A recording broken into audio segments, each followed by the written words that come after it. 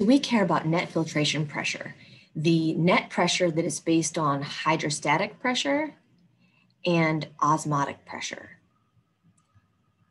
both in and outside of the capillary.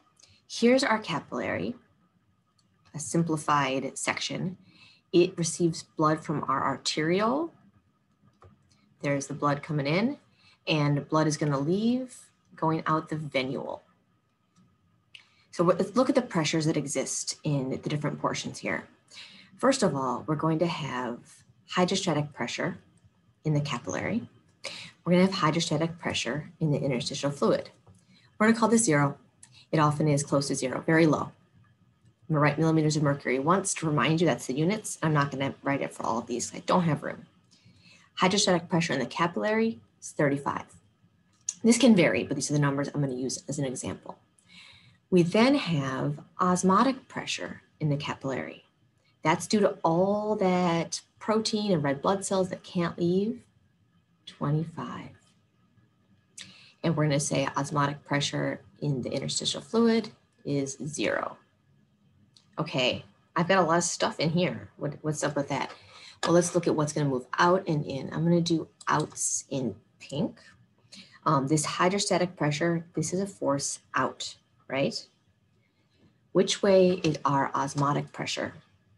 Let's draw this a little thicker here because it's 35. Osmotic pressure is higher inside the capillary than out, but that's going to mean its force is in.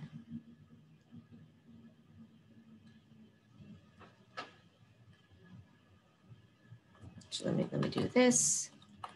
This is green. Our pink is hydrostatic pressure. What is the net filtration pressure at this location?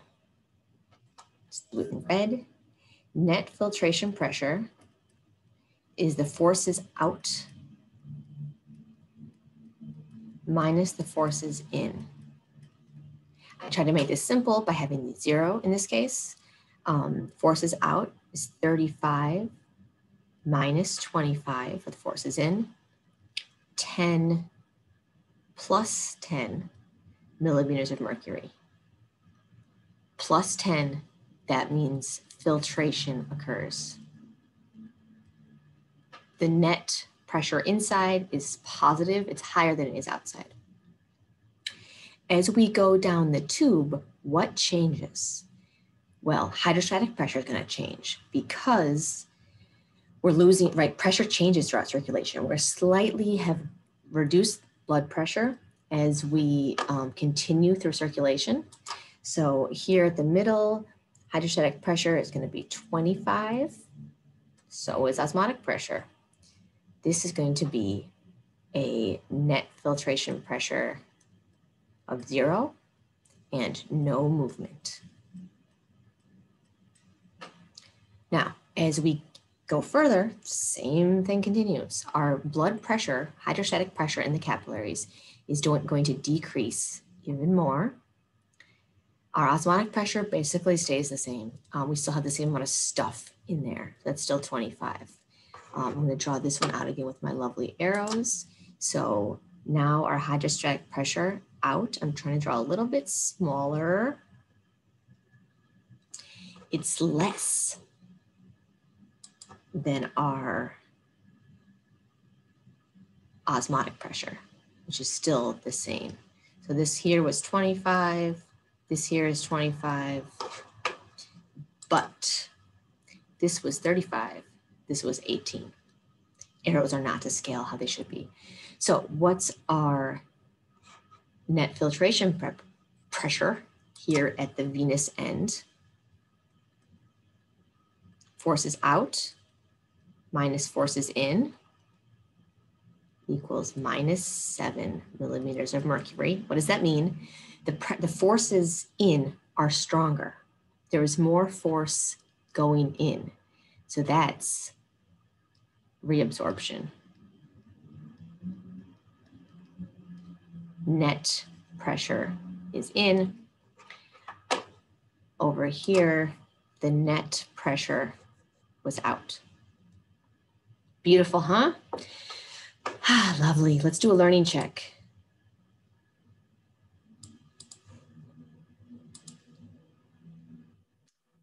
Calculate net filtration pressure.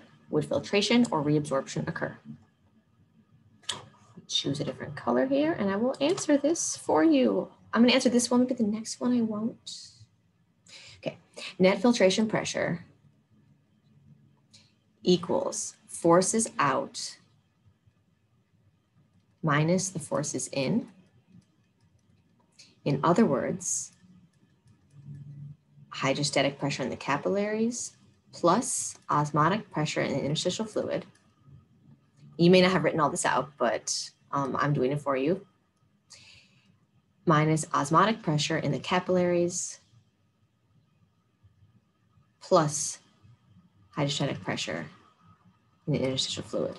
All forces out, it says F, minus all forces in. Well, you may have said, okay, we have zeros here. So why are you doing this, Dr. Robin? It's really just 35 plus zero.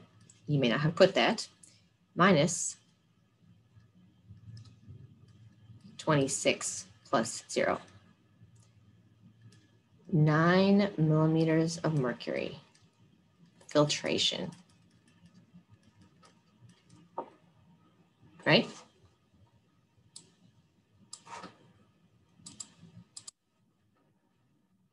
Okay, oops. Here we go. Next one. Here, you got to think a little harder because look, that's not zero.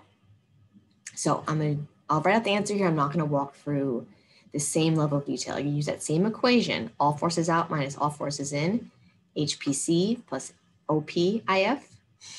I, I can't say the, the numbers. Go back and look at the last slide. You need the equation. Otherwise, you should be able to figure them out from these arrows, right? The arrows are pointing the direction that they are. So this is going to equal 17 plus 1. That hydrostatic pressure that exists in the inner, I'm sorry, that osmotic pressure that exists in the interstitial fluid is helping to pull out. It's a force out. Minus 0 plus 26.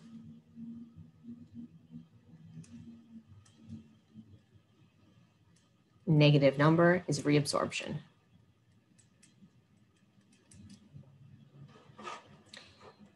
Hope we're good. Here is another just nice summary of this. Um, at the arterial end, you've got filtration. This is a common pressure. In reality, it's going to start higher and the net filtration pressure is going to decrease until it gets to zero, right? Um, the, and this is what's happening, right? The capillary pressure, the osmotic pressure in the capillary is greater than the osmotic pressure. So that's gonna result in filtration. No movement at the center here because the two are equal and opposing forces. They're always opposing forces. Here they're equal. Then we've got reabsorption when we have um, that blood pressure drop, capillary pressure is now lower than the pull in from osmotic pressure. These things can be um, altered some in dysfunction. I'll talk about that briefly when we get to the lymphatic system.